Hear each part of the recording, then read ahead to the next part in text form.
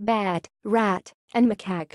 Sliced and charred exotic animals are on sale at Indonesian food markets as activists try to stop locals from eating endangered species in a remote corner of their native Indonesia. Amid smoking volcanoes and dense jungles, macaque monkeys face are being aggressively hunted to be eaten. Authorities and activists are stepping up efforts to persuade villagers on Sulawesi Island to stop consuming the critically endangered monkeys, one of many exotic creatures that form part of the local indigenous community's diet. The animal, whose scientific name is Macaca nigra, is part of a kaleidoscope of exotic wildlife found across Indonesia, including tigers and orangutans, who face a range of threats from poachers to the destruction of their habitat.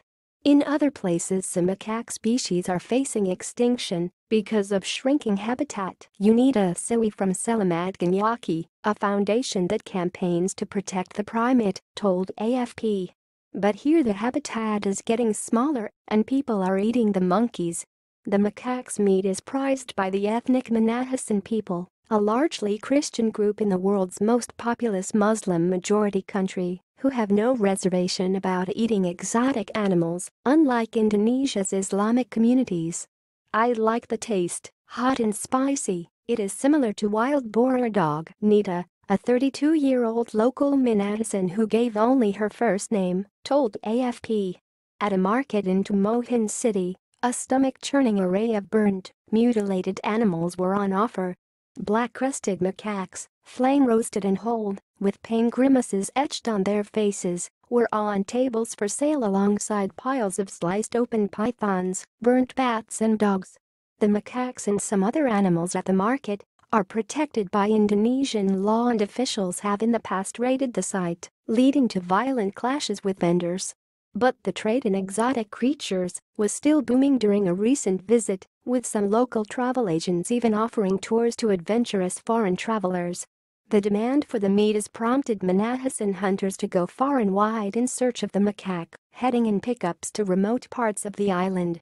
The population of macaca nigra in its natural habitat on Sulawesi has dropped more than 80% in four decades, from an estimated 300 per square kilometer, 0.4 square miles, in 1980 to just 45 per square kilometer in 2011, researchers say the International Union for Conservation of Nature classifies the monkey as critically endangered.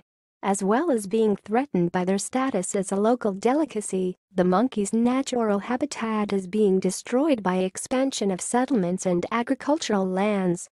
As the population has fallen, the local wildlife protection agency and activists have started campaigning to save them. Tents manned by activists explaining that the monkey is protected have been set up at local markets, while billboards have been put up by roadsides to warn people that they face up to five years in jail if they hunt the creatures. NGOs and the local government have pushed schools to include lessons on conservation, including about the macaca nigra, in their curriculum.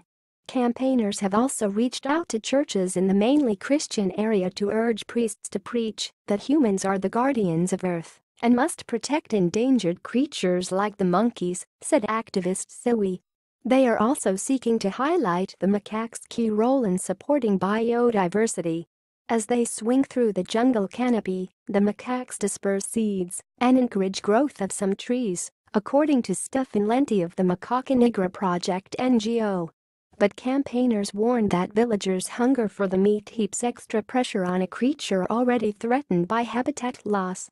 Hunting the animals for food is the final nail in the coffin for a dwindling population, said Simon Purser of the Sulawesi-based Tasikoki Wildlife Rescue Center.